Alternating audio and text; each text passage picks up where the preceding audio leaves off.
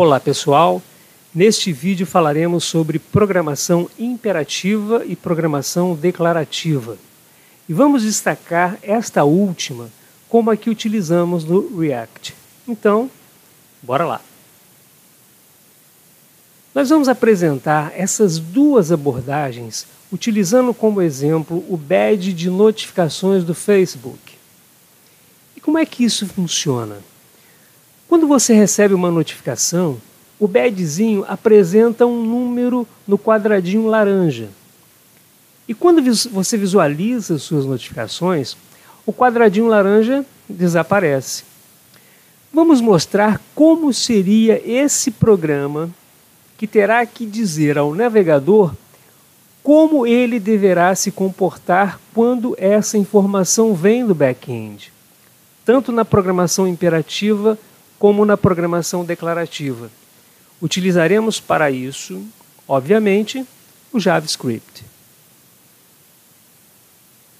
Vamos começar com a programação imperativa. Temos aí um código bem simples. Veja na, na, variável notificações, definida na primeira linha. Nós armazenamos o número atual de notificações. Vamos então considerar que iniciamos com zero notificações. E é nesta função montaBadge onde montaremos aquele quadradinho laranja com o número de notificações atual. Ou seja, o zero atribuído a notificações representa a quantidade de notificações que eu tenho neste momento atual. Este num, que é passado para a função montaBadge pelo back-end, refere-se ao número de notificações que o usuário recebeu. A partir do momento em que a notificação recebe um número de notificações do back-end, o programa inicia algumas verificações. Vamos a elas. A primeira verificação considera o seguinte: se o número atual de notificações é igual a zero, e se foi recebida pelo menos uma notificação, veja, num maior que zero, o programa adiciona o badge, o quadradinho laranja. E em JavaScript, nós faríamos algo do tipo container.appendChild e aí colocamos a badge lá dentro. E alguns outros códigos JavaScript que poderíamos escrever nesse caso. Em seguida, temos uma outra condição. Se o meu número de notificações for diferente de zero, ou seja, eu já possuo uma notificação e eu recebo na, fun na função um num diferente de zero, significa que eu tenho que aumentar ou diminuir o meu número de notificações. E o que eu precisaria fazer seria alterar o número que está dentro da badge, do quadradinho laranja.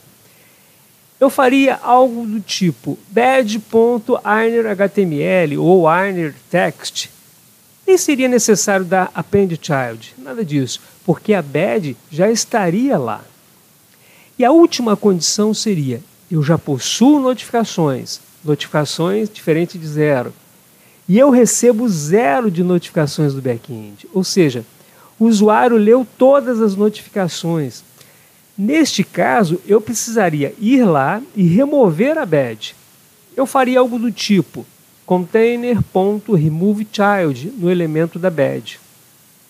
Observe que eu estou definindo ações para o meu navegador, considerando todas as condições que podem ocorrer, fornecendo a ele um passo a passo para, eventualmente, adicionar, alterar ou remover a badge, que representa o número de notificações.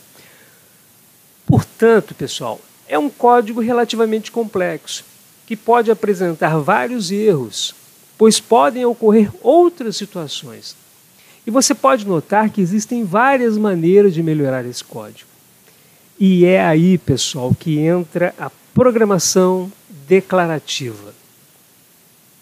Vamos então a um exemplo da badge de notificações construída no React, como um elemento do React. Veja, o mesmo código escrito do lado esquerdo, agora codificado em React, do lado direito. O primeiro ponto a ser observado é que no React nunca se compara o estado anterior, ou seja, não faremos nenhuma comparação se um novo número de notificações é maior, é zero ou diferente do número que havia anteriormente. Toma-se o elemento, o componente, com base no número de notificações atual. Observe nesse trechinho de código uma div ID container e dentro dela um spam com o ícone, que seria aquele sininho onde ficam as notificações do Facebook. Veja essa figura como, por exemplo, nessa nossa transparência, à esquerda, lá na parte superior. E a div ID badge seria o quadradinho laranja, com o número 3 dentro dele. Dentro desta div ID badge é indicado o num.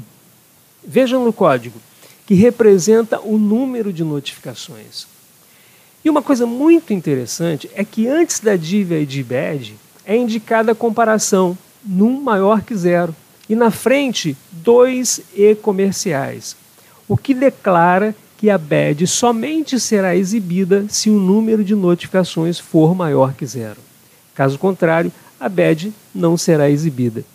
E toda vez que a função no React recebe um novo valor para num, ele monta esse componente novamente, fazendo um refresh nesse HTML. É essa abordagem que chamamos de programação declarativa.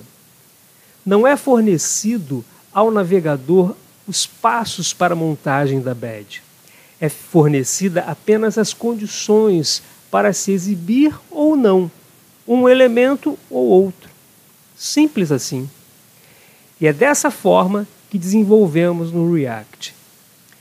Este foi apenas um exemplo bem simples, mas eu acredito que o suficiente para entendermos essa ideia de programação declarativa utilizada no React.